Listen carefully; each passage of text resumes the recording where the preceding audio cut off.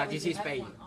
You know, you will have a coffee, a fiesta. and that's it. I think we, we all need to bring him an iPad. Okay. Fiesta wasn't nice. Fiesta sounds nice. Fiesta Yeah. and siesta, both of them. Okay, so what I do, uh, it's it's very simple. I, I won't even touch the dough. You know, it's maybe I don't know rustic Shabbat. I don't know how you, you're gonna call it. Rustic Shabbat, sure. Yeah. So I don't know. We will make uh, 150. It's 450. 600. maybe. 660 is fine. Okay. So what I'm doing now is just you know a little touch. That's it. The more simple, the better. Exactly. Up. Whoa. And now I will let it rest for maybe half an hour because we will have to eat at 12 o'clock. That's it, yeah. I have a Belgium schedule. Thank you. Thank you. And uh, that's it. We, we, I won't even cut it. I mean, I will put it on some down. It, va- it will open itself, and uh, you know, it's a fantastic way to make bread. I think so. Yeah, it's, it's nice, nutrition. You gonna, you know, all the information I give you, but because it, because it's gonna make the World Cup, you know, and I'm from the French team, so he, and so he take all the information. He's very clever. Look at him. He's got to give credit though, right? Yeah, yeah. He's got the microphone over there. so. Hey, we support we support the Belgian team, so you were here Yeah, well. yeah, yeah, yeah. I know. It's give and take, Yohan? I know.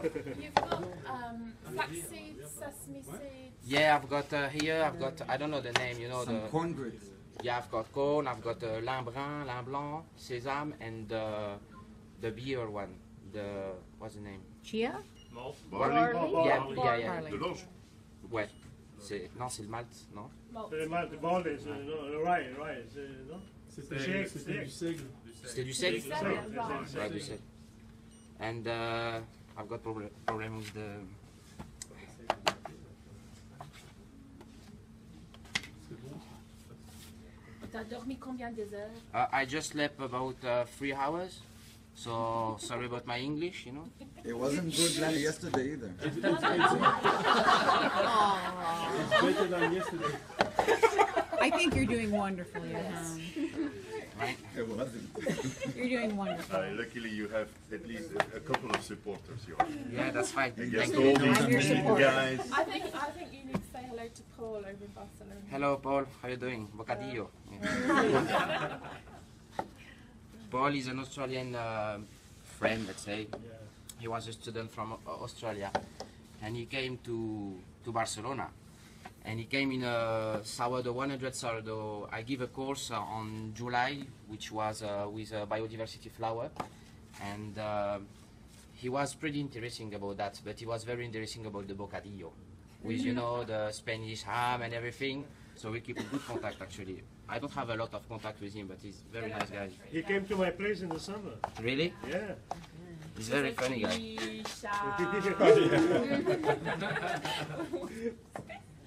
That's Paul. Very- It's sort of networking uh, here. Yeah, he, to- he, t- he told me, Yohan, what do you think if I open a bakery and I make bocadillo? and I told him, it's amazing. Very, very amazing guy. Very lovely. He- he's pretty cool. Yeah.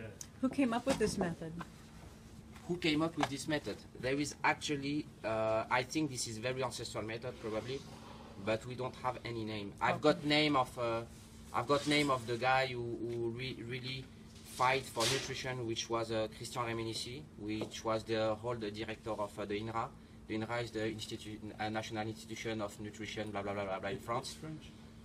Oh, of course. uh, no, it's not because it's French. It's uh, only because he's fighting for nutrition purpose. So you know, and uh, he's passionate about wheat as well. So when you've got passion about wheat, scientific and bakers and everything, then it's cool because you can have. You know. You made a method for him, in fact. Uh, uh, we were we were a crew, so we were few, and everybody has his own uh, kind of flower. So I was working with Spanish flower, uh, biodiversity flower. So uh, I don't know what. Uh, this is more than wheat actually. That one, so it will be different, but it's still better and nutritional than. than but of just kind of placing it in. Um, Yeah. We've been discussing this in the UK a little bit. Is it parve? Has anyone heard of this parve?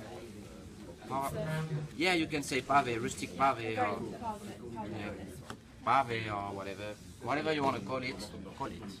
You know, Harvey, so the most important at the end is the nutrition and the flavor. Can you just because I missed the beginning of it when it was live, can you explain again while you're um, shaping The why shape this will hold its nutritional value and the breakdown of the starch? because it's got a lower uh, index, uh, glycemic index.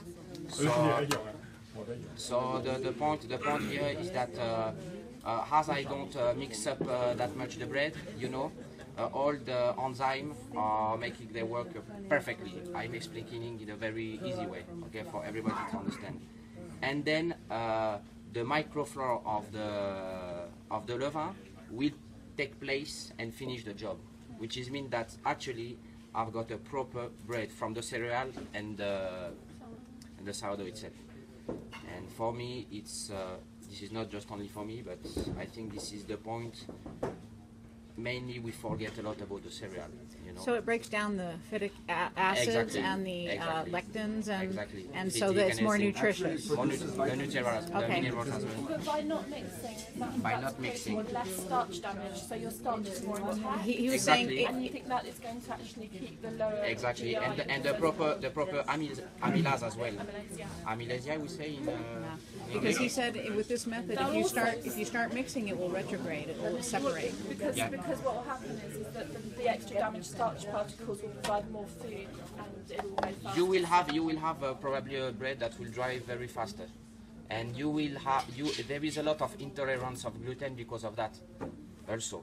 So uh, try to uh, have uh, to make uh, to make uh, someone who have a problem of digestion try to do a bread with a lot of of kneading and another one with not with no kneading and you will see that it's much more digest because you know the amylase creates already a lot of sugar and uh, it will uh, uh, how is it, break down the. it will break down the, the gluten and everything, everything much, much, much better. But the protein protect everything, so it's it's it's better for you. You know, when you split everything, you coagulate everything, and it's not really natural. It's not a, a natural position of the of, of a bread.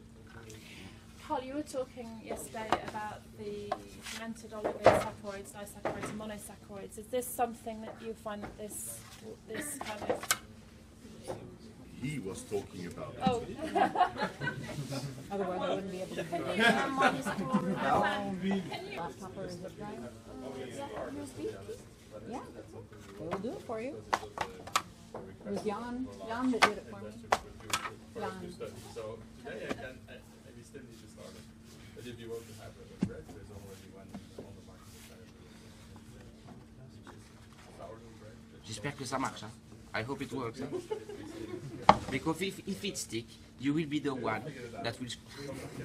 no, I'm, I'm, I'm, I'm yeah. I never tried that. It's a cheaper way eh, to make, to make a banton.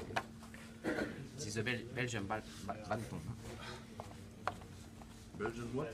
Banneton. Ah, ouais. It's German. Yeah? No, French.